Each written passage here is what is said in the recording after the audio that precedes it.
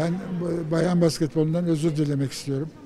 Çünkü e, ben hayatımı basketbolla adadım ama çoğunlukla e, erkek basketbolla uğraşıyorum ama sizleri de hayranlıkla izliyorum, seyrediyorum. Koçunuzu da çok seviyorum, çok beğeniyorum. Biraz korkuyorum ama o kadar da olur. E, başarınızın devamını diliyorum. Galatasaray'a büyük bir temel oluşturdunuz. Allah razı olsun sizden.